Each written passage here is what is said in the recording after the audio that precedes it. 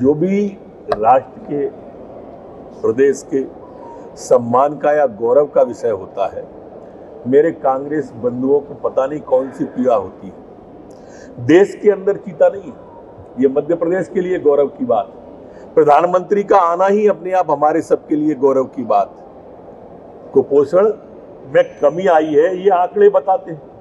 और इसलिए मेरा सोचना है कि ये इस तरह की बातें नहीं करें। ये महान भारत को बदनाम भारत बताते हैं। ये वैक्सीन पर सवाल उठाते हैं सेना पर सवाल उठाते हैं ईवीएम पर सवाल उठाते हैं।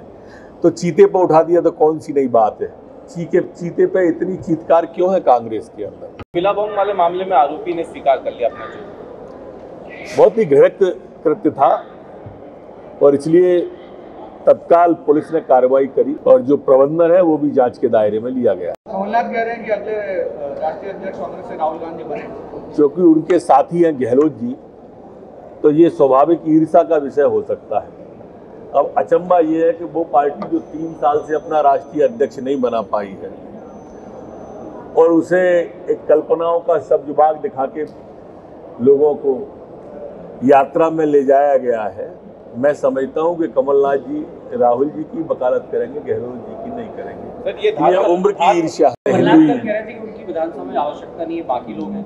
आवश्यकता नहीं है और कमलनाथ जी स्वयं मानते हैं तो इस्तीफा दे देना चाहिए उन्हें। कम से कम विधानसभा के बारे में तो ऐसा नहीं बोलना चाहिए कि मेरी आवश्यकता नहीं है मैं बकवास सुनना नहीं चाहता मैं बकवास नहीं करता। ये जिस तरह के कटाक्ष और व्यंग वो विधानसभा के बारे में कर रहे हैं मैं समझता हूँ उनसे जैसा सीनियर लीडर जो अपने आप को संसदीय का मर्मज्ञ बताते हैं।